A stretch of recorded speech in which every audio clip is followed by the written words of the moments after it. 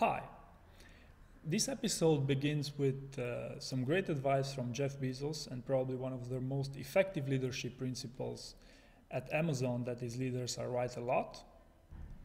And uh, continues with some uh, other great pieces of advice from leaders from uh, Nike.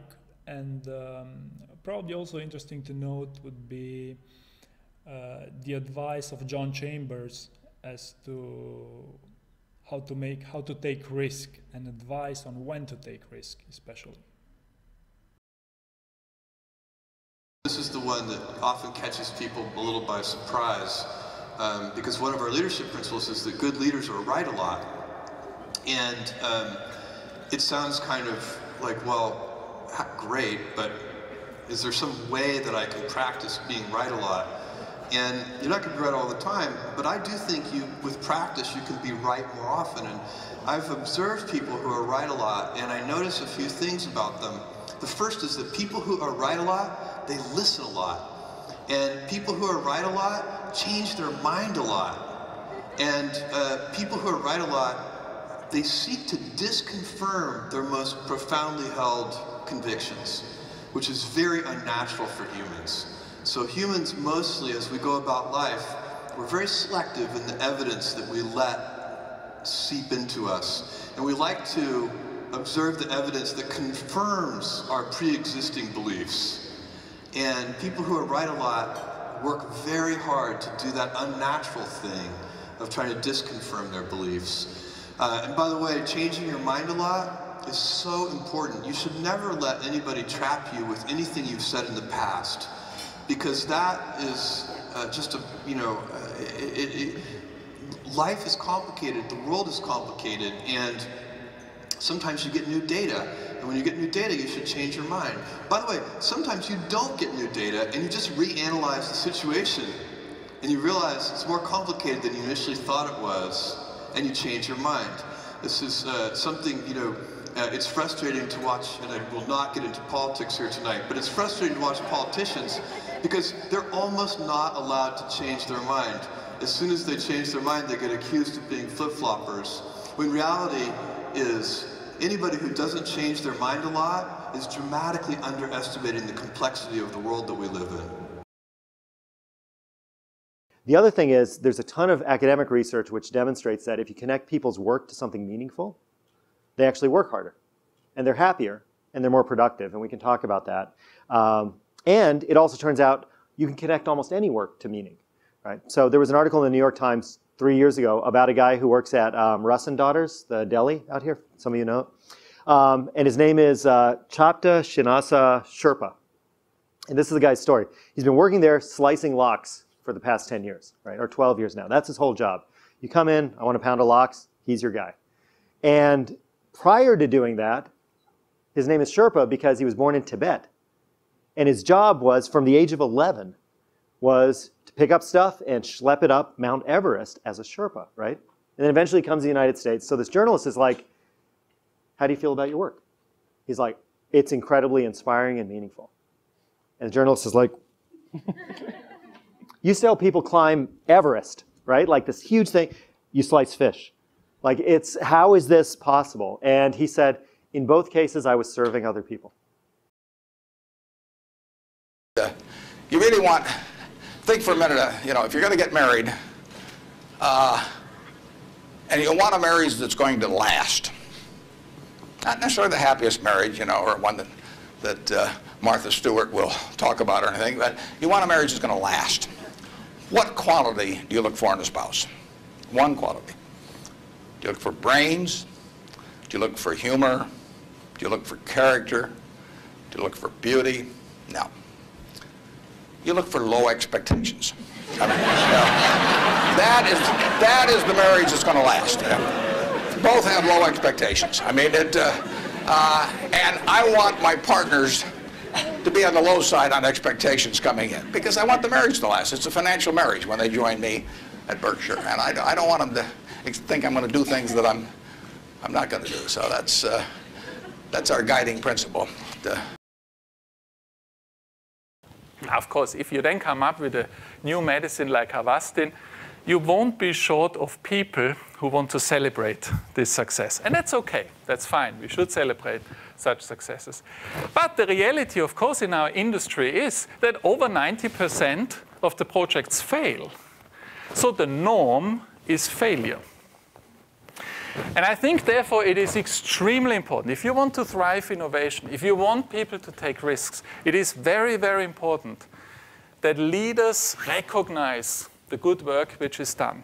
And I personally, you know, over lunch or whatever, I call up some of the project members and then we discuss a project, we discuss why it has failed, uh, we discuss what we can learn from it.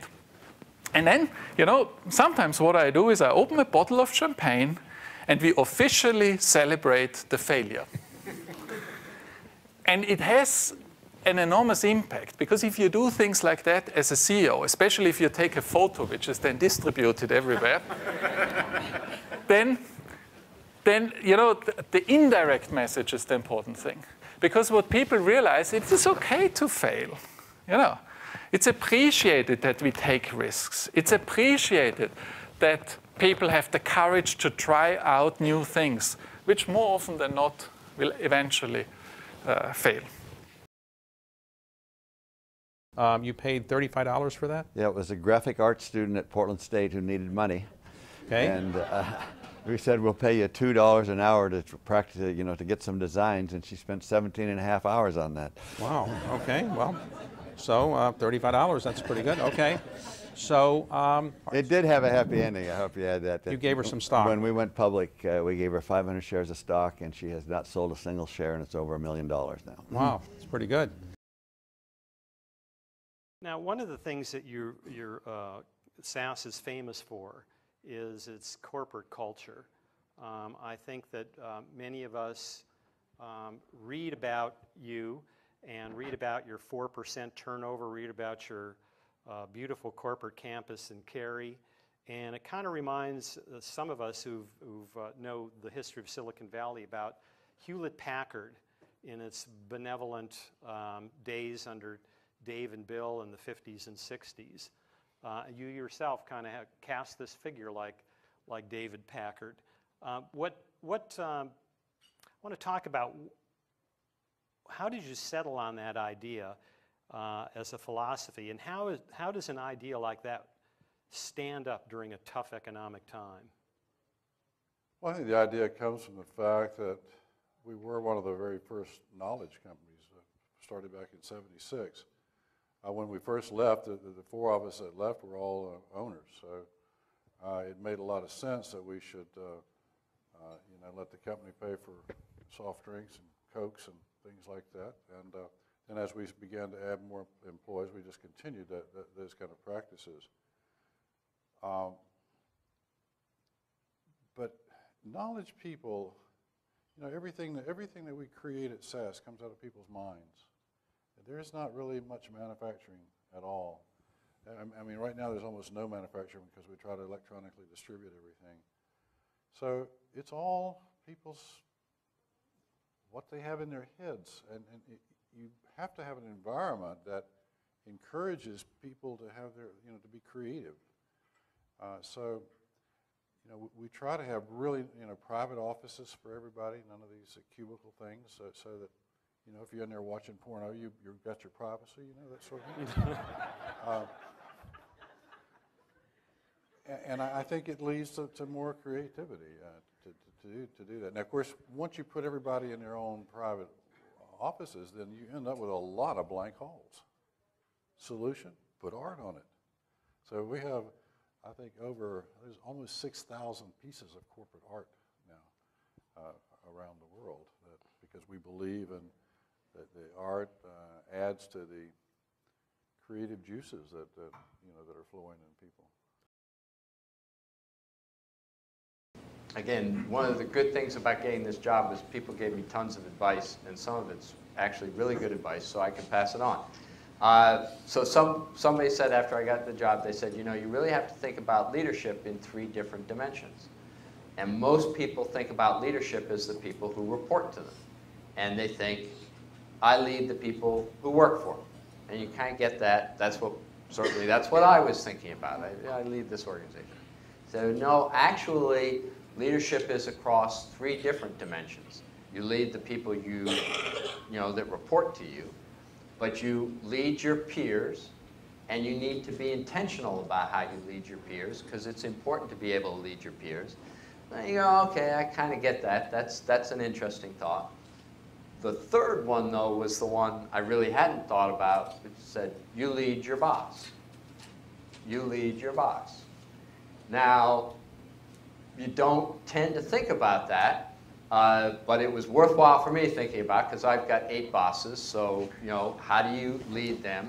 I've got a couple of people here from my staff who lead me very effectively. Uh, and, and it is a skill. Uh, what you'd say is, um, look, some people you can go in and say, you're a moron, change your mind. And other people, if you did that, you're out of a job. So you got to go, what works with this person? You actually have to think about, how do I get this person to do what you in your, you're going to know your job better than your boss does. Just start there. After two weeks, you're going to know your job better than your boss, right? And your boss is going to tell you to do things that you're going to go bone dumb, doesn't make any sense, don't want to do it. And you've got to figure out, your job is figuring out how you communicate that and how you get your boss going in a more positive direction. And what I'd say is, it sounds interesting and easy. That's a tough, that's tough. And it is leadership. So uh, the, what I would say is think intentionally about that. You know, when you're driving home at night, and you get some spare time, say, who is this person that I'm working for? And how, how do I influence him or her? What, what's that influence? Because he or she doesn't want to do stupid things. They're just, you know, they just don't know the job as well as you do. That um, if, if you're creating a company or if you're joining a company, uh, the most important thing is to uh, is to attract great people. So either be with, join a group that's amazing that you really respect, or if you you're building a company, you've got to gather great people. I mean, all a company is is a group of people that have gathered together to create a product or service. And so, depending upon how talented and hardworking that group is, and the degree to which they are focused uh, cohesively in, in a good direction, that will determine the success of the company. So, do everything you can to, to gather great people uh, if, if you're creating a company. Um, Take risks. Do not not be afraid to fail. That was the key thing I learned in Silicon Valley. If you go through life much like playing basketball back on your heels, your opposition blows right around you. Have the courage to take those risks. Have the courage to look at the person that you're in love with and say, I'm committed to you. I want to get married. Have the courage to take that job that you were hesitant about doing. I see a lot of heads going like this. No way. Have the courage to take that job you're hesitant about doing. Do not sell short your dreams and aspirations. In Silicon Valley, it's the red badge of courage for teams to get knocked on their tail. It's the ones that get knocked on their tail and get up that really make a difference. So, one great person equals three good people. Uh, that's an understatement. You're, you're 45 times as good at a lot of things as I am, and vice versa. It's a simple little statement one equals three. We believe in only hiring great people. We'll interview you to death, have you talk to eight people. Some people leave before the interview process because it's so exhaustive, but we just think the most important thing in the world is who we hire to help us achieve what we're trying to achieve. And talent is the whole ball game. And one great person in business productivity can easily do the business productivity of one good one. And um, people want to work with great people. Do you want to go work at a place where there's a bunch of mediocrity and people are not engaged? And, and you want to work with fabulous people that you're so excited to get to work with. Um, that girl in the fifth grade that liked you, and you couldn't believe she liked you because she was the coolest girl in the whole school, and she liked you. I mean, you, you just couldn't believe it. I mean, it makes you want to come to work, come to school in the morning. You know, I mean, that's who you want to work with. These people you just love and admire. And so, one great's equal to three good. You can pay them better. We pay 50 to 100 percent above industry average. And I'm not an advocate of paying mediocre people well, but I'm a huge advocate of paying great people well. And so uh, the business wins because it's getting three times the productivity at only 50 to 100% more payroll. The employee wins because she's getting paid, say, 50% more than somebody else might pay her. And the customer wins because the customer is getting this great one equals three, you know, person, you know, Uh, uh, to work with.